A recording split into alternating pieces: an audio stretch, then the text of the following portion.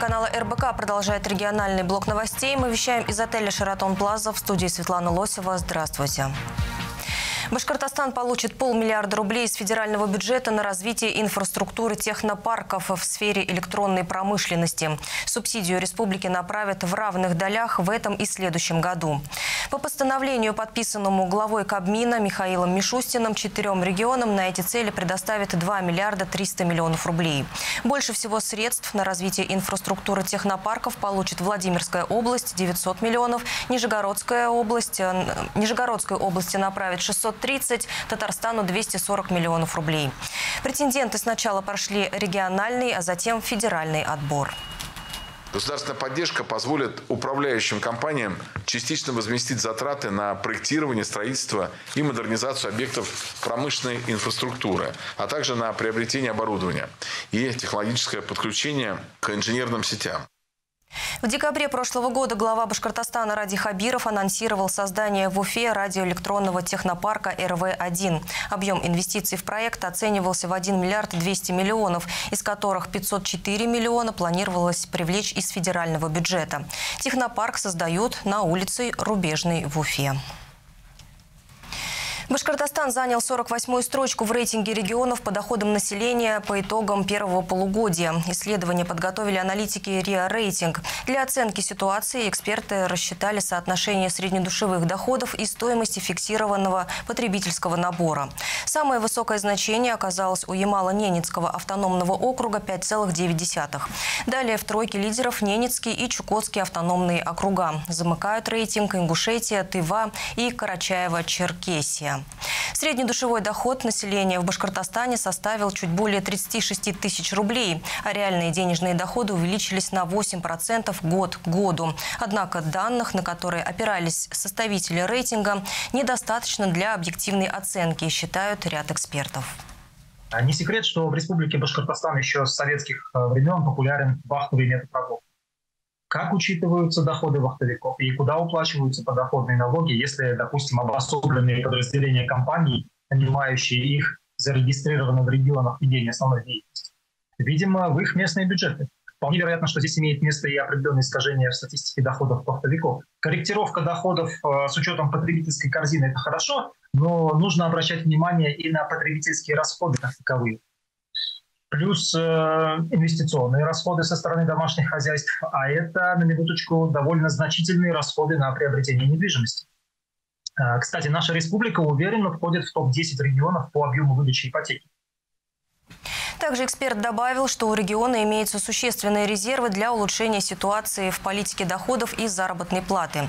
Что касается страны в целом, во втором квартале текущего года среднедушевые доходы населения в России держались на уровне 47 800 рублей в месяц. В реальном выражении, за вычетом инфляции, доходы населения выросли за этот период на 5%. В Башкортостане героям России и их семьям, проживающим на селе, планируют предоставлять социальные выплаты на улучшение жилищных условий. Об этом заявила вице-премьер правительства, министр финансов Лира Иктисамова. По ее словам, в ближайшее время будут рассмотрены изменения, которые предусматривают бесплатное предоставление земельных участков таким гражданам. В целом в республике реализуется 37 мер поддержки участникам специальной военной операции и их семьям. Так, на начало октября этого года более трех тысяч детей военнослужащих бесплатно бесплатно посещают детсады. Кроме того, 4000 школьников с 5 по 11 классы и более 500 студентов колледжей обеспечены бесплатным горячим питанием. Кроме того, дети участников спецоперации могут зачисляться в физкультурно-спортивные организации в первоочередном порядке, получать преимущественное право на перевод в наиболее приближенные к месту жительства детские сады. В настоящее время перевели 351 ребенка. А также участники спецоперации члены их семей имеют право льготного посещения мероприятий учреждений культуры. На сегодняшний день такими мероприятиями охвачено 3000 человек.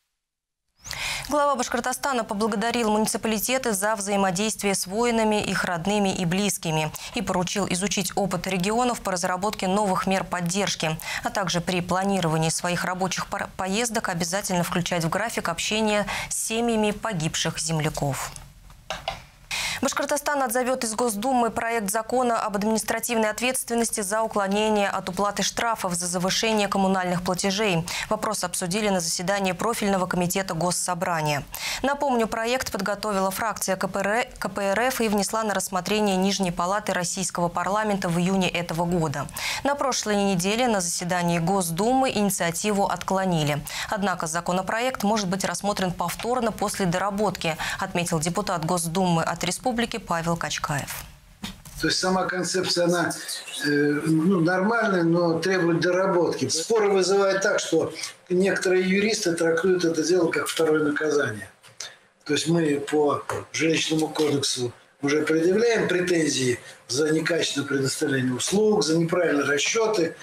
Вот, уже предъявляем претензии. А тут как бы второй раз административку еще раз по жилищному кодексу поставщики ЖКУ, начислившие потребителю завышенные суммы, должны выплатить потерпевшей стороне штрафы в размере 50% от суммы переплаты. Однако на практике нарушители часто отлынивают от уплаты. Поэтому башкирские депутаты предлагают штрафовать за нарушение сроков на сумму от 4 до 200 тысяч рублей.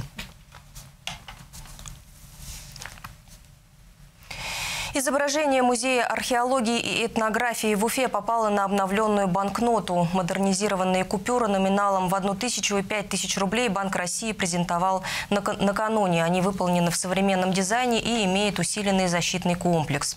Тысячерублевая банкнота посвящена Нижнему Новгороду и Приволжскому федеральному округу.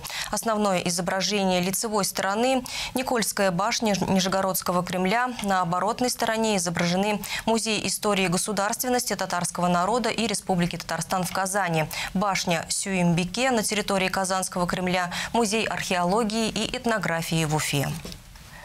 Объединяющий элемент оборотной стороны – это Великая река Волга. Мы видим также Жигулевские горы, плывущий теплоход. Дизайн банкноты, банкноты, кроме того, содержит множество микроизображений. Здесь можно увидеть и фрагменты орнаментов и изделий народных промыслов, а также предметы, отображающие быт и культуру народов Приволжского федерального округа.